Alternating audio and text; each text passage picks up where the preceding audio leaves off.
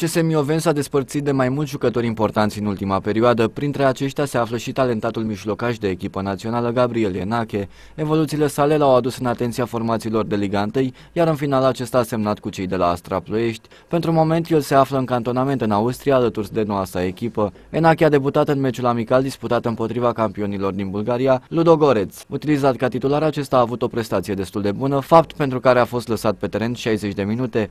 În final, prahovenii au cedat partida cu 1-0, dar au câștigat mai mulți jucători, printre care și Enache. Tehnicianul Bogdan Stele apreciind destul de mult prestația noului său elev. Mioveniul a încasat din acest transfer o sumă destul de bună, 150.000 de euro. În plus, la viitorul său transfer, clubul galben-verde va primi 25% din drepturi.